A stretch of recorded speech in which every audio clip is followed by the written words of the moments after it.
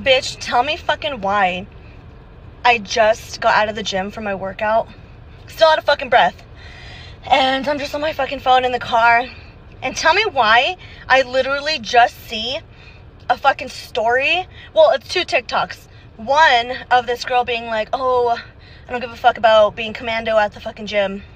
And then tell me another couple videos later, I fucking see this guy telling me, not telling me, but telling telling a story on TikTok, being like, um, I thought I had pink eye one time, but it actually turns out he went to the doctor, got it checked. It turned out to be fucking chlamydia that he had in his eye, dude. And the reason why he got chlamydia is because he even told his doctor, he's like, oh, dude, well, I haven't had sex in like three or four months. He's like, oh, well, you look like you're a pretty buff dude. Um, do you happen to go to the gym? And he was like, yeah. And she, the doctor was like, um, so what could have happened is that you were working out at the gym, someone was sweating on the seat, you threw your towel on the seat, you get that towel, whoever had chlamydia sat down, had their fucking shit all over the seat, he gets his towel, wipes his face with it.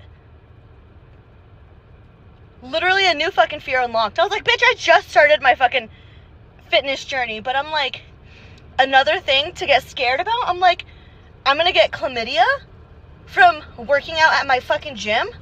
Oh, hell no, dude.